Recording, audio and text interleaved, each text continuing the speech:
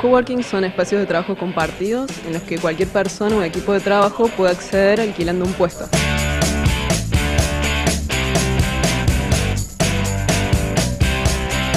Las tendencias en el trabajo están cambiando. Uno necesita ya estar sentado en una computadora en un cubículo, atado a la pared para estar trabajando.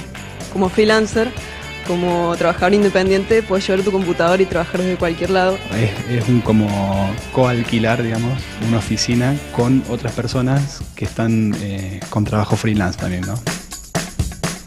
Las ventajas que yo veo es la flexibilidad en el sentido de que uno puede rentar un coworking por horas. Al compartir espacio con otro, bueno, no solamente que generas, eh, podés generar contactos con otras personas que a lo mejor están en tu misma temática, o pueden ser tus proveedores o tus clientes, o te pueden solucionar un problema, sino también que accedes a un precio muy bajo a eh, salas de reunión, salas de capacitación. Otro de los beneficios que hay en los coworking es que uno no tiene que incurrir en los gastos y en los dolores de cabeza que tenés cuando tenés que alquilar una oficina tenés que estar pensando que internet se va a caer y tenés que llamar al técnico. Acá tenés una persona que se encarga de todo eso.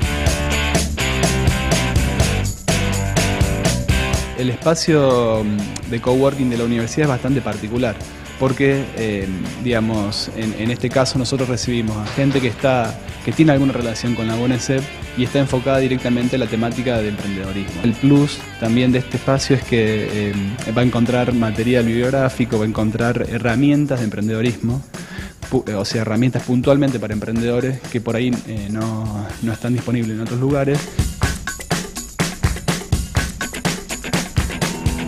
La cultura del coworking es una cultura justamente colaborativa y de compañerismo. Es más que el, el hacer sobre el decir, el, el confiar en uno en el otro, el compartir.